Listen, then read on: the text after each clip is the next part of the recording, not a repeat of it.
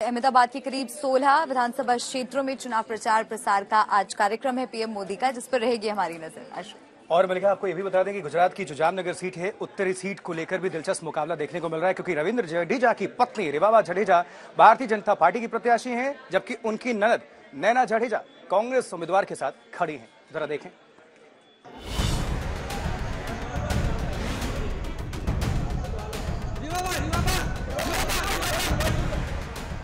ये भाभी हैं रिवाबा जडेजा, रविंद्र जडेजा की पत्नी।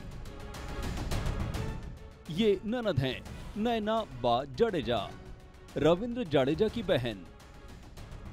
गुजरात की सियासी लड़ाई में ननद भौजाई का पारिवारिक तड़का खूब सुर्खियाँ बटोर रहा है। जामनगर उत्तर की सीट पर भाभी बीजेपी की उम्मीदवार हैं और ननद कांग्रेस उम्मीदवार की समर्थक। दोनों के अपने अपने सियासी स्टैंड हैं। कहती हैं कि लड़ाई परिवार की नई विचारधारा की है। This is not the first time कि इंडियन पॉलिटिक्स में एक ही परिवार के अलग अलग सदस्यों ने अलग अलग पार्टी के साथ अपना विचार विमर्श करके वो जुड़ने की जो एक इच्छा व्यक्त की हूँ। तो वो अपनी तरफ़ से किसी और पार्टी के साथ जुड़े हैं। मैं भारतीय जनता पार्टी के साथ जुड़ी और मेरे लिए सबसे बहुत बड़ी बात है कि मेरे हस्बैंड मेरे साथ है तो इस इस बार मुझे कोई दिक्कत ऐसी आ, सच दिखाई नहीं दे रही है। सबकी विचारधारा अलग होती है ना उसमें क्या बीजेपी से थक गई है? महँगाई दिन ब दिन बढ़ती जा रही है। इन लोगों ने जो भी वादे किए हैं, उसमें असफल रहे हैं। तो ये बहुत सारी चीज़ें हैं, जिसके लिए आम जनता अब जाग गई है। पाँच साल बाद इनको मौका मिला है। पाँच साल बाद इनको मौका मिला है अपना वोट परिवर्तन करने के लिए, और सब परिवर्तन चाहते हैं।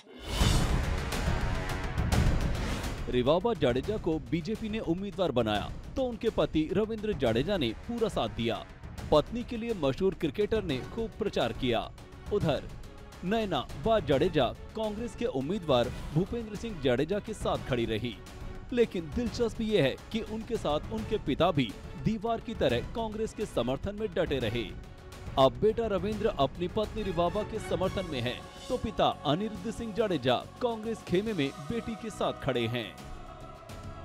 ये लोगों में बहुत ही खुशी है। जैसे मैंने कहा कि लोग एकदम उत्साही है। इस बार एक यूथ भी इसमें शामिल हो रहा है तो उनको भी एक कहीं ना कहीं उम्मीद है कि रिवाबा आएगी तो अच्छा काम करेगी जामनगर के लिए और जामनगर की कोई जो भी अंडर डेवलप एरियाज़ है जो भी लोगों की उम्मीद है उस पर खरी उतरेगी। नहीं नहीं मुझे तो पार्टी को देखना है उसमें कोई ये नहीं है। अच्छा। बाकी कोई फैमिली प्रॉब्लम नहीं है हमारे। घर में पक्ष विपक्ष एक हेल्दी कंपटीशन कुछ नहीं हम पार्टी को देखते हैं पार्टी को सपोर्ट करना हमारी फ़र्ज़ है और कुछ नहीं।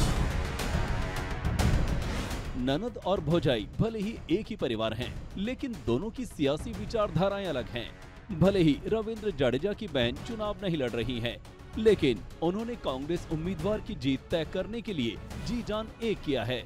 देखने वाली बात होगी कि जामनगर उत्तर की जनता किसके साथ खड़ी होती है ननद के साथ या फिर भौजाई के साथ। जामनगर से मिलन शर्मा के साथ आज तक ब्यूरो।